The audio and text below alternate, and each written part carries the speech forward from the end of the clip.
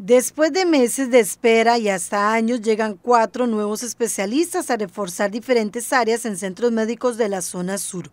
De acuerdo con Pamela Aguilar, directora regional de servicios médicos de la Caja Costarricense Seguro Social en la región Brunca, estos médicos vienen a reforzar áreas importantes. En el caso del Hospital Escalante Pradilla en Pérez Celedón son tres los especialistas que llegan.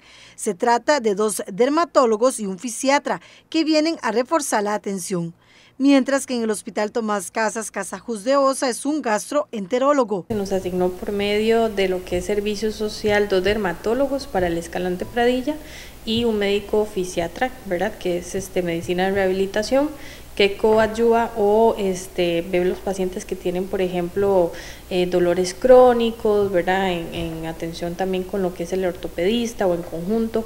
Y vamos a tener un gastroenterólogo en el Tomás Casas también para la población de OSA.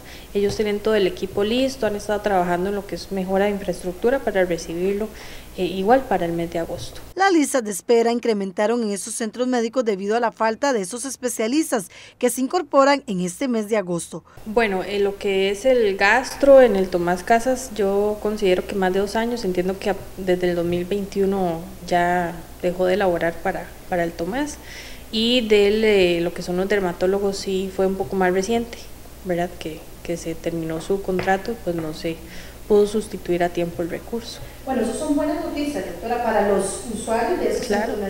Sí, eso significaría que ya no tienen que estar viajando largas distancias para atenderlos en estas especialidades, ¿verdad? Y que lo van a tener muchísimo más cerca y oportuno la atención. Por lo que esperan que la atención de los pacientes de estas especialidades empiecen a ser llamados.